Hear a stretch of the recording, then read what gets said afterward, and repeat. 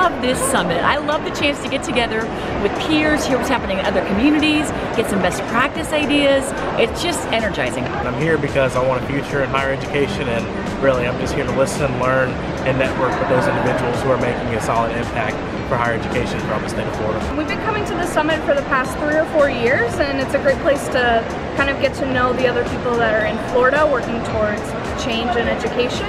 Um, and it's a great place for us to also learn about how we can help better empower our students. I want to hear from the Google evangelist. Education disrupts poverty. Education changes families' destinies. Education moves us forward. Education creates the societies that we want. Education is the key to a lot of this. And for me, it's a personal passion. So I was invited for the student uh, panel by Daniel Markowitz to discuss uh, financial aid and um, just letting everyone understand um, students and their perspective a little bit more. The key problem in the whole situation is that there's a lot of students that don't even know how to the first step about where scholarship, how do I find out where the scholarship are located, where do I submit an application to? And I was in that same situation. I'm like, I don't know how to fill out what's a FAFSA. I'm like, I don't even know what that is. Probably heard of the National Assessment of Educational Progress. I'm excited to share with you that this great state of Florida is the only state,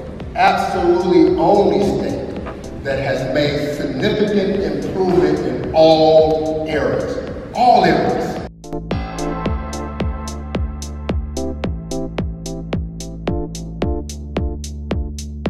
My favorite speaker right now has just been the conversation we've had with, uh, with uh, the representative mm-hmm. and uh, the, the, updates that he has given us so far about what policies and Bright Future Scholars and all of the changes that are actually coming along. But I also think that we've sold our students short by raising the standards for Bright Futures so exponentially as we have. And we also know for a fact that it's had a disproportionately negative impact on low-income students, yeah. on minority students.